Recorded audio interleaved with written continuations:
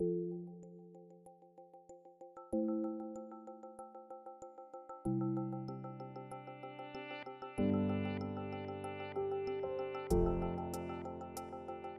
more than 50 years, most anthropologists thought that modern humans left Africa around 100,000 years ago. What now Misliya tells us is that actually modern humans left Africa not 100,000 years ago, but 200,000 years ago. This changed the whole concept of modern human evolution. In the Misliya specimen, we used the most advanced methods, using a micro-CT analysis, which actually allowed us to dig into the tooth, to virtually peel the layers of the bone and of the teeth. We could look into the tooth, into the dentin layer, and analyze the shape of the dentin, of the roots of the tooth, and of the enamel crown. One of the, the most dramatic events in human evolution is the appearance of our own species, the Homo sapiens. Somewhere between 200,000 and a half million years ago, our species uh, first appear somewhere in Africa.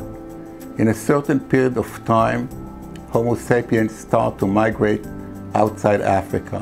When they start moving out of Africa and what geographical route they choose to do it are the two most important questions in recent human evolution. This specimen is actually of modern characteristics. It has more modern features which are similar to modern population than to other ancient populations such as Neanderthals. There are five features that makes uh, the maxilla foramicida uh, of Homo sapiens. The small parabolic uh, dental arch. The second is the location of the incisive foramen. Another feature is where the, the anterior part, where the zygomatic arch enters to the uh, maxilla. Uh, also the ridge where the uh, anterior part of the zygomatic arch enter to the maxilla.